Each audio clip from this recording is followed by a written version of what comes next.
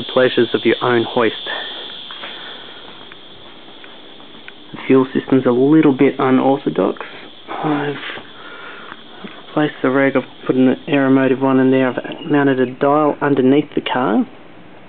That way when I'm adjusting it, if I have to, I can see instantly what it's set to.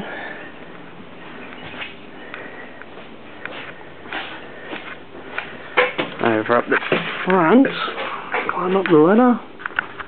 Also got another dial in the engine bay.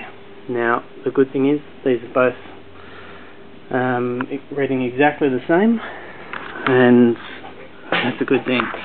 I'll just kick it over.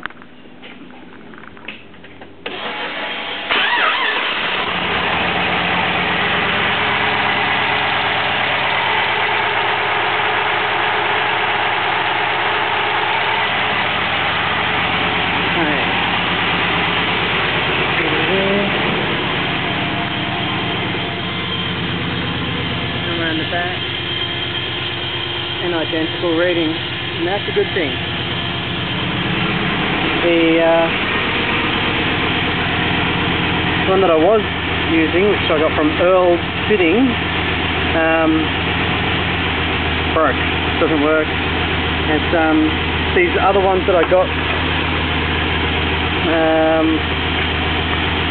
they uh, don't they don't have a stopper on the zero. They um, so they what they, they call it